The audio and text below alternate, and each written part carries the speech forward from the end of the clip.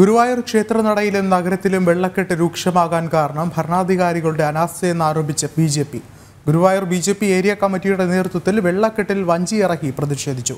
നഗരസഭാ കാര്യാലയത്തിന് മുന്നിൽ നടന്ന പ്രതിഷേധം ബി ജെ പി മണ്ഡലം പ്രസിഡന്റ് അനിൽ മഞ്ചറമ്പത്ത ഉദ്ഘാടനം ചെയ്തു. നഗരത്തിലെ തോടുകൾ വൃത്തിയാക്കി വെള്ളക്കെട്ടിന് പരിഹാരം കണ്ടില്ലെങ്കിൽ ശക്തമായ സമരത്തിലേക്ക് കടക്കുമെന്ന് ബി ജെ പി മുന്നറിയിപ്പ് നൽകി.